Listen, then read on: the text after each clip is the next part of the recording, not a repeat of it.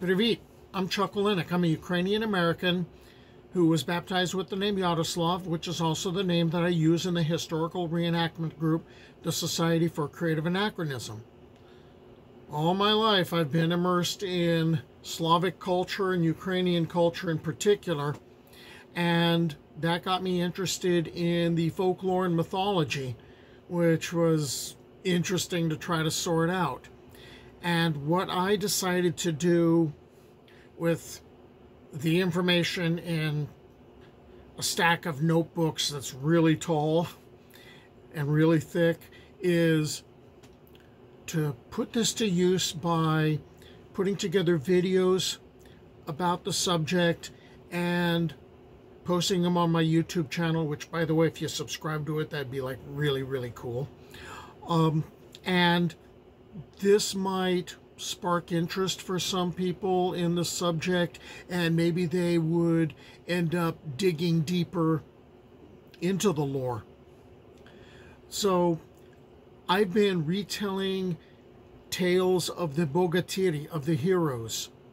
And there's always like the big three that everyone sees in this famous painting of Ilya Murom and Dobrynya Nikitich and Alyosha Popovich.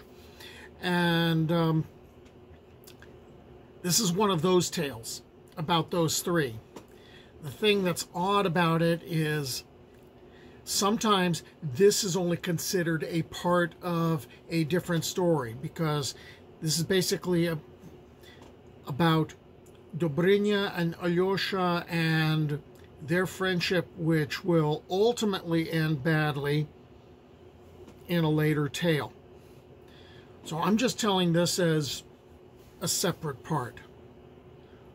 Who would tell us of the things of old, of the things of old and of the things that have been, of Dobrynya, the son of Nikita, of the brave Bogatyr, Dobrynya Nikitich, and of the adventure of the pavilion? As young Dobrynya Nikitich roamed the open plain on a day, he came to a damp oak, whereon sat a black raven. Dobrynya drew his bow from its case, fitted to the cord and flaming arrow, and made ready to shoot the raven. But the raven addressed him in human language. Now I, Dobrynya Nikitich, slay me not, and I will reveal all things to thee. The children in the streets have a proverb in killing a graybeard there is no salvation, and none shall receive profit from shooting a raven. With the blue plumes of a raven may no man solace himself, and my flesh thou canst not eat. Half the raven's wings were white, and he said, I, Dobrynya Nikitich, go thou to the lofty mountain, for there be three wondrous marvels, three marvelous damsels. The first is a wonder of white whiteness, the second of redly beautiful, the third a black marvel of darkness. Dobrynya reflected then in haste, and replied to the raven, What thou hast said of the old man, the graybeard, and of the raven is true. Then he put aside his dart and thought, Better is it that I should go to the lofty mountain, to yon steep hill, and see these three wondrous marvels, these three marvelous damsels. So he turned his good steed in haste, quickly, quickly, very, very quickly, and with speed, and rode to that lofty mountain. And as he gazed about him, lo, there stood a pavilion of white linen. On the pavilion was a lock of steel, and upon the lock this writing, Whoso entereth this pavilion shall not issue thence alive. Dobrynya's heroic heart burned within him when he read that, and he smote the lock with his fist, so that the lock fell upon the damp earth.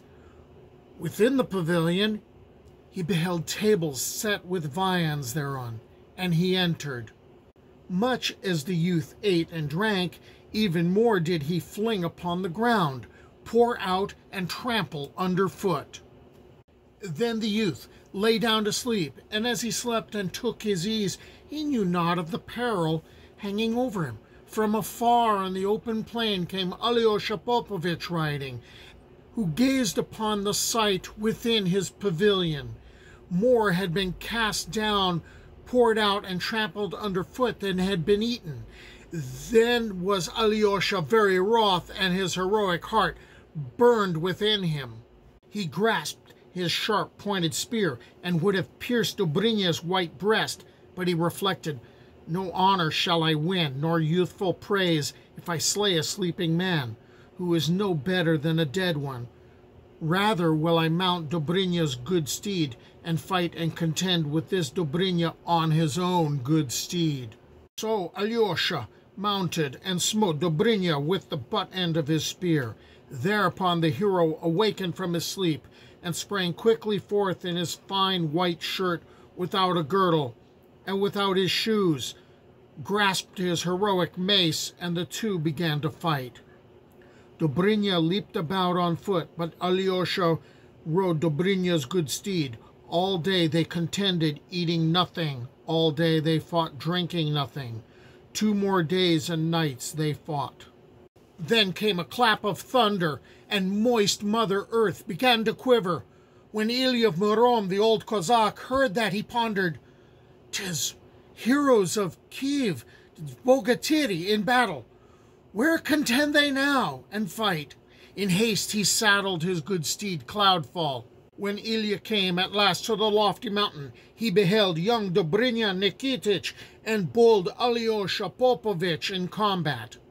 Then he seized young Dobrynya in his right hand and bold Alyosha Popovich in his left and shouted at the top of his voice, Why contend ye, mighty Bogatyri? Alyosha answered, I, old Cossack Ilya of how could I refrain from fighting?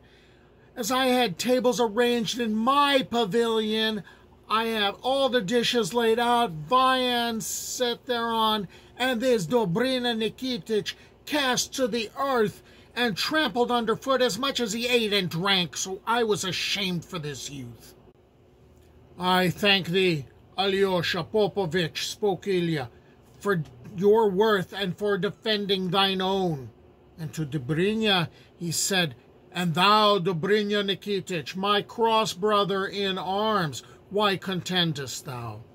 Ilya of Murom, my brother in arms, my cross brother, old Cossack, how was it possible not to fight? For this dog and robber had a lying inscription written, Whosoever entereth this pavilion shall not issue thence alive, and I desired to remain alive.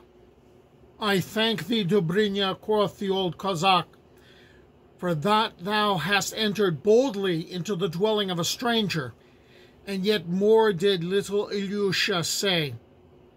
Calm now your heroic hearts, tame the heart of heroes, and call each other brother in arms, swear brotherhood with the exchanging of crosses. Then Ilya flattered and persuaded the two Bogatyri, and they decided not to fight and contend, but swore their brotherhood on the cross. Dobrynya called himself the elder brother, Alyosha called himself the younger, and so they parted and came at last to Kiev town. But alas, this sworn brotherhood would not last, which is a tale for another day. It was at the feast I heard this tale, there it was I drank mead ale. Though it flowed down my beard, my mouth stayed dry, for never a drop passed my lips, swear I.